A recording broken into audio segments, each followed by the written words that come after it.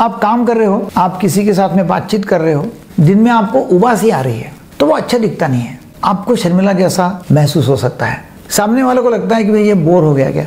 इसको रुचि नहीं क्या मैं क्या बोल रहा हूँ इसमें?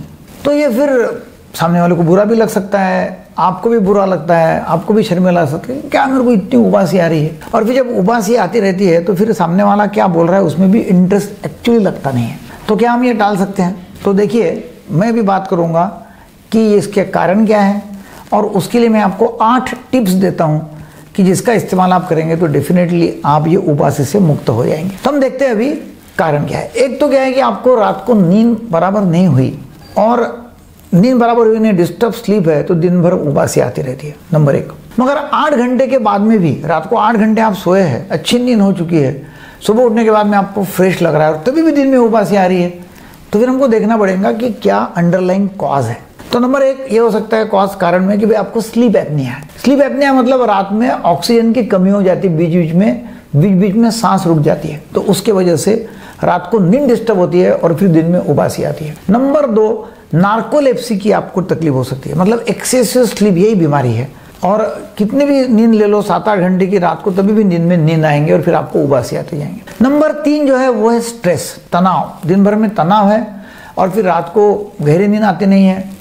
और फिर रात को भी नींद होती नहीं और दिन भर तनाव है तो फिर तनाव के कारण आपको दिन में उबासी आती रहती है। नंबर चार, दिन में जब आप चल रहे, हिल रहे, घूम रहे इधर उधर तो ऑक्सीजन की कमी हो रही है आपके बॉडी में और उसके वजह से उबासी आ सकती है। और नंबर पाँच, कुछ दवाइयाँ आप ले रहे हैं मेडिकेशंस और like S S R I जो दवाई है, उससे भी मतलब जो डिप्रेशन के लिए जाती है, उससे भी आपको उबासी आ सकती है। अब इसके अलावा सीरियस कुछ कंडीशंस हैं जिससे आपको उबासी आ सकती है।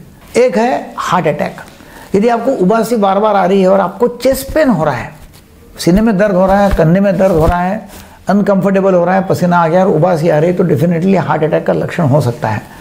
दूसरा है लीवर फेलियर लीवर लीवर की बीमारी अदर देन फेलियर लीवर की बीमारी तो उससे भी उबासी आ सकती है तो आपको वो टेस्ट करके लेना चाहिए।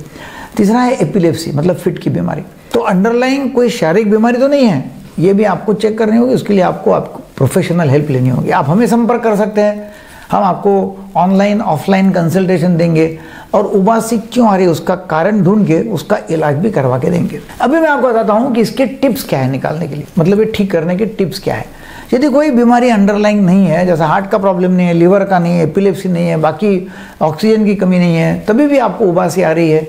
तो मैं भी आपको आठ टिप्स दे रहा हूँ। नंबर एक आपने क्या करना है, जब उबासी ज़्यादा आ रही है तो ठंडा जूस पीना है, ठंडा फ्रूट जूस या ठंडी कॉफ़ी कोल्ड कॉफ़ी ले सकते हैं। कोल्ड एकदम आइस कोल्ड वाटर ले सकते हैं, या आइस टी ले सकते हैं।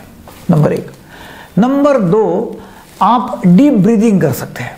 लंबी लंबी सांस लेना, छोड़ना, सांस लेना, छोड़ना, जिससे आपकी जो ऑक्सीजन की कमी है, वो ठीक हो सकती है। यदि है तो और आपकी उबासी निकल जाएँगी।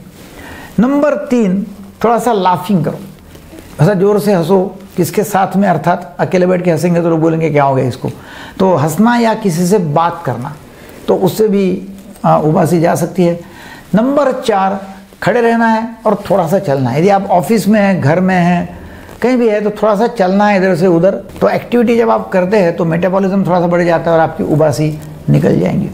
नंबर पाँच, आप ऐसे झुक के बैठे हैं, ऐसे टिक कर बैठे हैं तो निकल के ऐसा सीधा एकदम बैठ जाना है। जिससे आपकी रेस्पिरेशन आपका ठीक हो जाएगा और उबासी निकल जा सकती है। नंबर छः आपकी स्लीप देखो, आपके नींद रूटीन में आप शेड्यूल उसका शेड्यूल का पालन कर रहे कि नहीं कर मतलब टाइम पे सोना और टाइम पे उठना।